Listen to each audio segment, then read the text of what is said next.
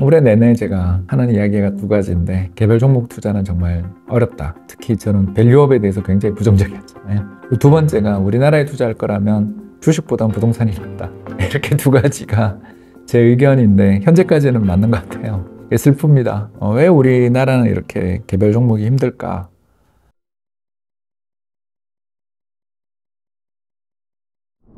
안녕하세요. 이코노미스트 홍춘욱입니다. 오늘은 우리나라 개별 종목 투자의 어려움 뭐 이런 이야기들을 한번 해보도록 하겠습니다. 김유리 PD님 안녕하세요. 어, 우리나라가 계속 미국보다 좀 못한 것 같아요. 음, 올해 내내 제가 하는 이야기가 두 가지인데 일단 한국 주식은 좀 투자할 때 개별 종목 투자는 정말 어렵다. 특히 저는 밸류업에 대해서 굉장히 부정적이었잖아요. 네, 그런 것들은 계속되는 것 같고요. 그래서 투자를 할 거면 차라리 미국 주식 아니면 중국 주식 해라. 이게 제 올해 권고였던 것 같습니다. 두 번째가 우리나라에 투자할 거라면 주식보단 부동산이 낫다. 이렇게 두 가지가 제 의견인데 현재까지는 맞는 것 같아요. 슬픕니다. 어, 왜 우리나라는 이렇게 개별 종목이 힘들까? 생각을 하면 일단 돌뿌리가 너무 많다. 열심히 뛰어가다가 돌뿌리에 걸려서 넘어지는 그런 경우가 많고 또 보면 지금 최근에 뭐 고려아연 이런 거에서 보는 것처럼 M&A 뭐 이런 거 하나 붙으면 또 이게 가격이 뭐 확 오르고 이런 식으로 움직여요. 우리나라 개별 종목들이 그러니까 안정성은 좀 잘 없고 호재나 테마가 하나 터질 때까지 그냥 내내 쉬다가 갑자기 뭐가 하나 팍 터지는. 그래서 이걸 우리가 이런 급등주 또는 로또 주식들을 미리 예측해서 투자를 할 수 있으면 얼마나 좋겠습니까만 그게 안 된다면 시장 전체를 사는 게 어떠냐 이게 제 의견인 거죠. 그리고 이제 또, 또 하나 이야기하자면 어, 정책 테마 ETF는 근처도 가지 말자.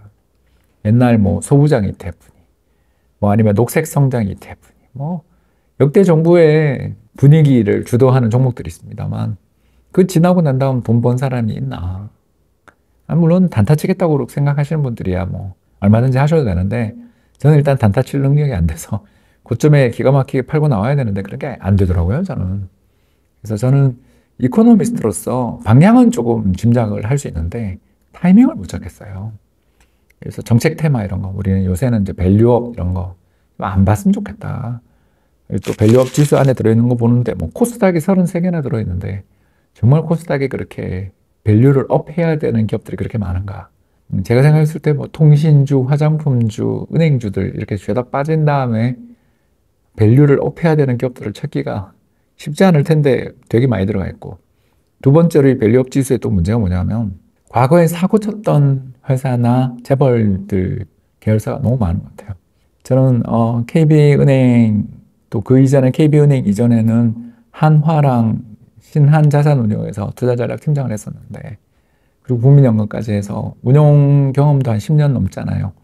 그 과정에서 정말 와 내가 다시 이 사람들 오너 어, 이 그룹은 절대 투자 안 한다 싶을 정도로 학을 뗀 적이 몇 번 있었는데 뭐 어김없이 다 들어있더라고요.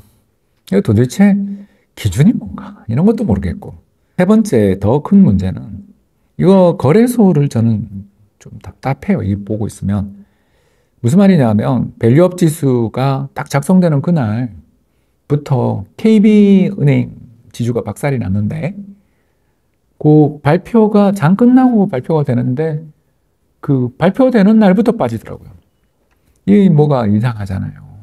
그러니까 이게 신뢰도 없고 뭐가 이게 공평한 기회가 주어져야 되는 것 같은데 그런 것도 없고 음, 더 나가서 리스트도 이상하고 역대 정부 테마 ETF들도 뒤를 생각하면 참 힘들었고 어, 세 가지를 생각할 때 이렇게 정부에서 밀어주는 테마도 투자가 쉽지 않은데 감히 그렇게 개별 종목 투자를 용기 있게 그렇게 하시는 분들을 보면 저는 용기에 감탄은 보내지만 공감은 못하겠다. 이렇게 말씀을 좀 드리고 싶습니다. 우리나라 주식시장이 미국 금리 인하할 때 좋은 적이 한 번도 없었잖아요. 그래서 주식시장이 금리 인하가 딱 되는 게 이게 호재여야 되는데 우리는 과거 1995년 이후 지금까지 다섯 번의 금리 인하가 모두 당장은 악재였어요. 그게 왜 그러냐 하면 금리 인하의 이유가 결국은 뭔가 경기가 나쁘니까 금리를 인하해 주는데 그러면 뭔가 나쁜데 벌써 우리는 돌불에 걸리는 거죠. 이런 요인들이 좀 있기 때문에 금리가 인하 안 되고 동결될 때가 참 좋을 때지 인하될 때는 일단 투자의 난이도가 좀 올라가는 편이다. 그렇게 생각하고 있습니다. 그럼요. 저희 그 프리즘 고객님이 저희 블로그에 이렇게 해서 한번 소개한 걸 보시면 알겠지만 어, 그렇게 힘들었던 8, 9월 지나고 난 다음 보니까 수익률이 역사상 최고 레벨 근처에 이미 와 있잖아요. 그 왜 그러냐 하면 금, 뭐, 현금성 자산들도 있고 미국 국채, 한국 국채에서도 성과가 요새 되게 좋았잖아요.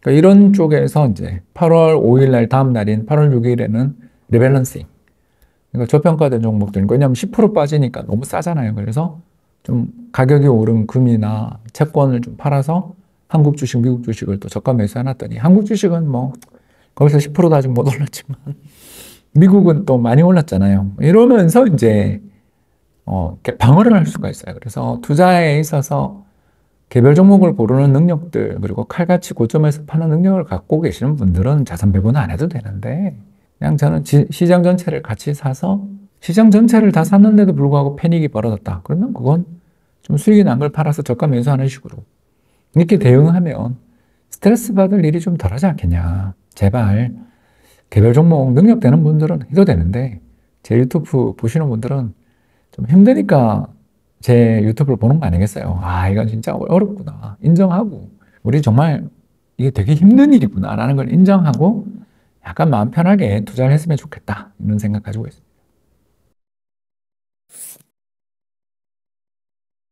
일단 트럼프가 될까 걱정 많이 되고 또 미연준이 왠지는 모르지만 왜 금리를 0.5나 인하했는지 저도 답답하거든요. 괜찮을 것 같은데 왜 저렇게 공격적으로 인하할까? 이런 걸 생각해 보면 결국 이제 미국이 금리를 인하하는데 다음 대통령이 트럼프 되는 경우에 전쟁 리스크부터 뭐 별의별 일이 다 있을 테니까 이 두 가지 리스크를 다 해지하는데 금이 딱 좋으니까 금에 대한 관심들이 높은 것 같고요. 다만 제가 금사라 그런 지가 좀 됐거든요. 근데 제가 항상 하는 이야기가 있잖아요. 아, 제가 이제 7월부터 금이랑 국채 사라고 했던 사람인데 또 한 두 달 사이에 엄청 올랐더라고요. 그래서 저는 아까 이야기했습니다. 프리즘은 금을 팔아서 주식을 샀습니다. 그래서 이거 지금 사라는 콜은 아닙니다. 그건 이미 지나갔어요, 저는. 금이 오르는 이유는 이렇게 설명할 수 있지만 앞으로도 갈지는 조금 지켜보자 이런 말씀을 드리고 싶습니다.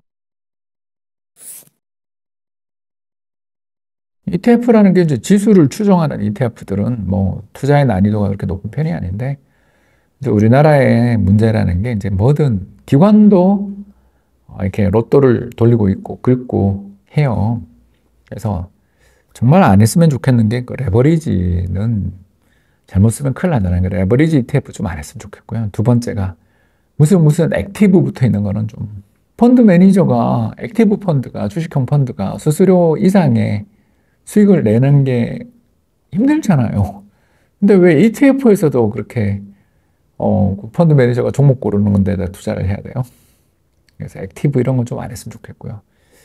마지막으로 H 붙어 있는 것도 좀 안 했으면 좋겠고 그렇습니다. 아무튼 뭐 까칠한 홍 박사 다시 추석 쇠고 돌아와서 더 까칠한 모습으로 돌아왔네요. 여러분 지금까지 경청해 주셔서 대단히 감사합니다.